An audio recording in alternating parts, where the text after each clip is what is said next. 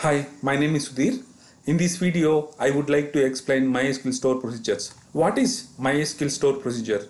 A store procedure is a collection of SQL statements that are stored in database and it contains business logic. It can accept parameters and you can able to set variables just like other languages. What are the advantages using store procedures? If you use store procedures, it improves the performance and reduce the traffic between application and database server. For example, if you call any store procedure from application, all statements will be executed automatically because all statements saved in DB side.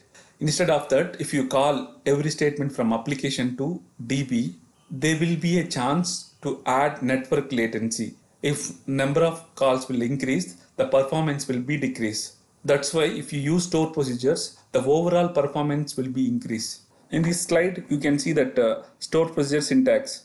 Any PL/SQL block, it should be in between delimiter. Here delimiter is two slashes.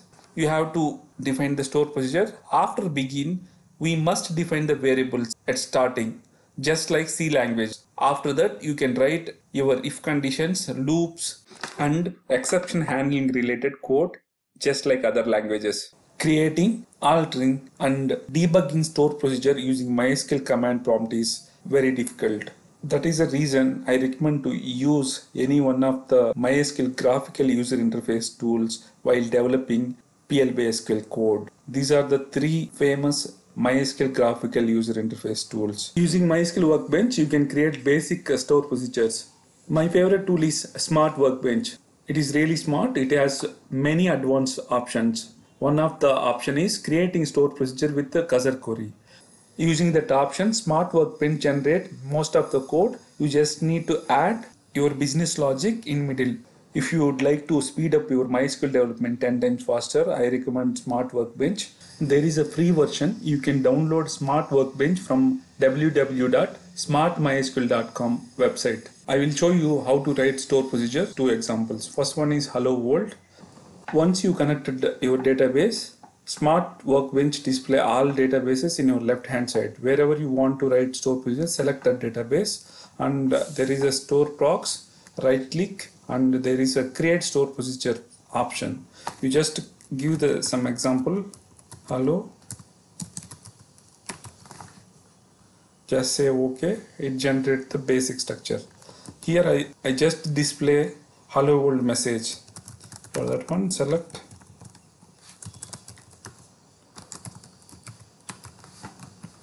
that's all it is completed.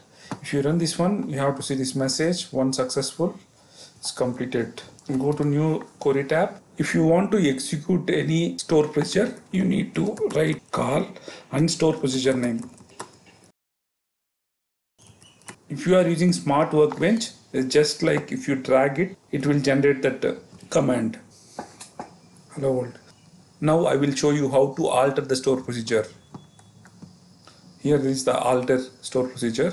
Now i will pass one person name as an argument and i will say hello world that person name. V underscore name varchar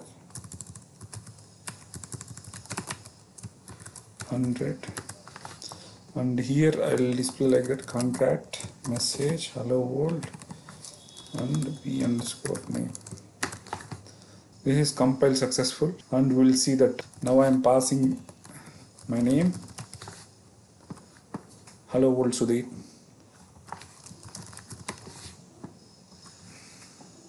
yes it is changing. If you want to drop it just drop store procedure option. You can drop it. In my next example, I will show you how to write store procedures which is close to some business logic. First case, increase 20% salary for employees who has been working in marketing department from last three years. Second case, increase 10% salary for employees who has been working in other than marketing department from last three years. Rest of the employees just increase 5% salary. I will create a store procedure with cursor. In store procedure, we can write a query and defined as a cursor. The cursor, it contains the result set and it allow us to read each record using loops. I will show you how to do it. First, we need to write a select query. Let me open my tool. We need employee basic details.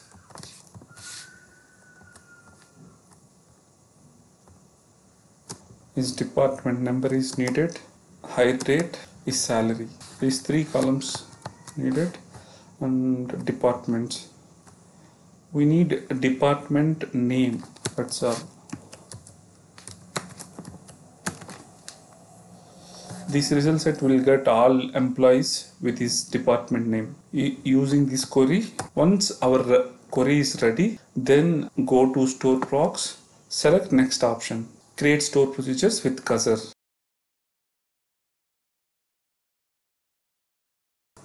And I'm giving the cursor query as a select query. If you this if you see this code, Smart MySQL generated the code. After begin, it defined one variable. It is for exit the loop. Once it is completed, these are the columns in cursor select query: employee number, hire date, salary, department name, and it declared the variables. Usually, we need to we must declare variables after begin the store procedures, similar like C language. After that, we already passed that uh, cursor query. It declared the cursor. This is a query. This is one continuous handler. This will trigger once that uh, cursor become empty. The cursor is opening.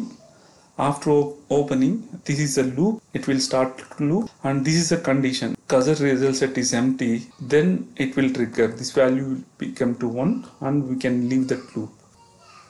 This is a fetching from each record. We are saving that uh, that query records into this variable. For every record, it will come these variables. Using these variables, we can able to write our logic. We can remove this, and here our logic is very simple. We have every record. We have department name, is hire date, is employee number. What we have to do is we have to write one some simple if condition if department name equal marketing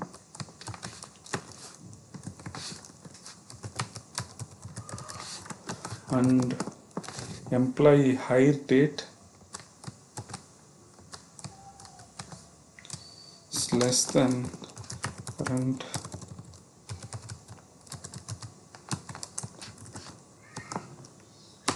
minus 3 interval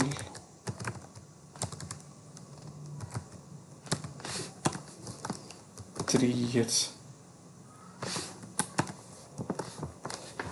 It will get it will get three years back date. If this date is greater than hire date means is experienced more than three years. Then we write simple update query update emp employee set salary equal to salary plus we need to give 20% hike 20 into salary divided by 100 we will get 20% where equal we can write one more condition. Here we need to write else. If marketing i think it is not needed marketing other than marketing department. Here it is already filtered marketing then rest of the peoples who are having more than three years they'll get uh, 10% hike. Else last condition means other other employees will just give 5% uh, and if that's all. Here we need to write 5% it become ready. Yeah it is showing that is a beauty with i think it is interval. Same thing. It exactly locate that where is the syntax error completed. And if yes. In this example first step is creating select query. If you use smart mysql workbench it won't take more than 30 seconds. I'll show you like uh, it has many benefits.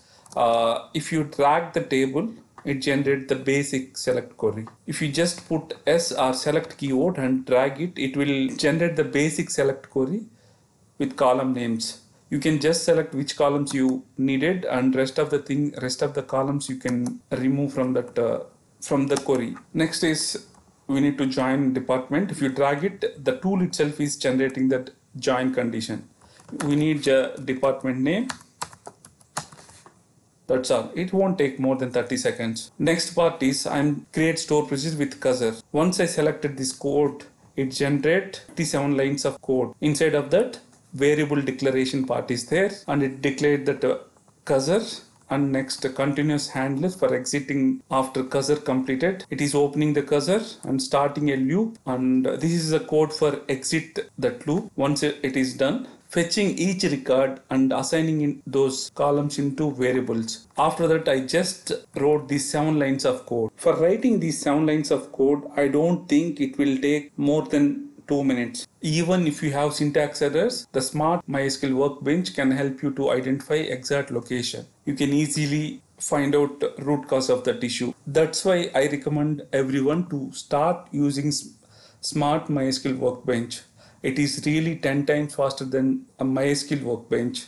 It is free. You can download from www.smartmysql.com website.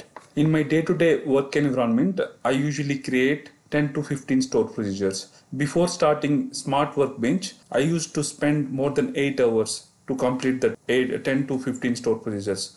After using Smart Workbench, my lifestyle changed. It is just taking 30 minutes. Store procedures have three types of parameters in, out and in out parameters. I will explain those parameters with one example. In this example, I, I declared three types of variables in, out, in out. We need to use in, out, in out keywords just before variable name. In this example, I defined three types of parameters. First one is in parameter.